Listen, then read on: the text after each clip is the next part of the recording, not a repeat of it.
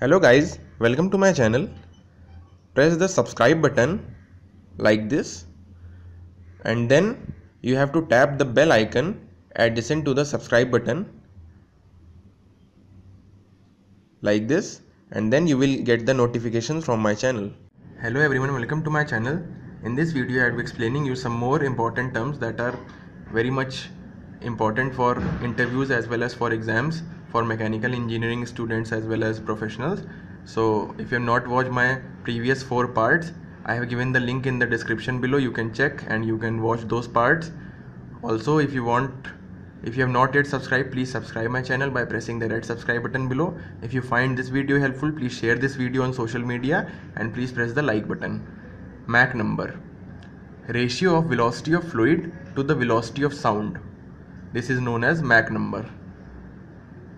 Discharge, the amount of fluid flowing per second. This is known as discharge. And its symbol is capital Q and discharge is equal to area into velocity. So the unit will be meter square into meter per second. That will that is meter cube per second. Nozzle. It is a duct of varying cross section. The velocity of fluid increases while the pressure drops. If the fluid flow is subsonic and if the fluid flow is supersonic then the velocity of fluid will decrease and the pressure will increase. Scavenging. The process of removing the burnt gases from the cylinder of an engine is known as scavenging. I have made separate video for scavenging and i have explained in detail and i have given the link in the description of scavenging also so you can understand scavenging in detail. Calorific value of fuel the amount of heat energy obtained on burning a unit mass of solid or liquid fuel. It is known as calorific value of fuel and it one is higher calorific value and another, another is lower calorific value.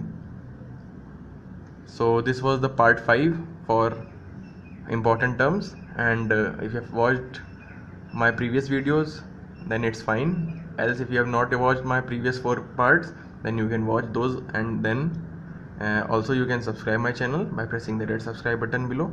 Please press the like button if you have found this video helpful. If you have any doubt suggestion or feedback please mention in the comment section. And uh, check the description once.